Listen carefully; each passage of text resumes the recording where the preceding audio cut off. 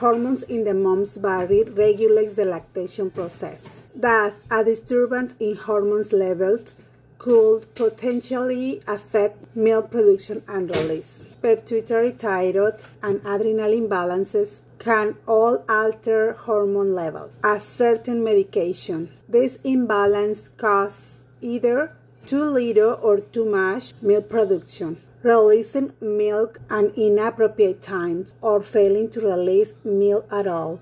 Women who have difficulty conceiving or who have become pregnant by the aid of reproductive technologies are at higher risk for hormone imbalances and consequently milk insufficiency.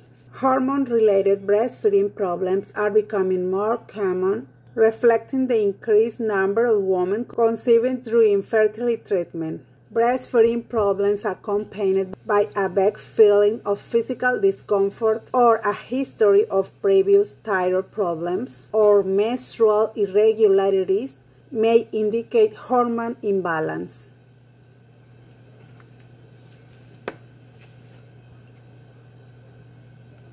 Listo.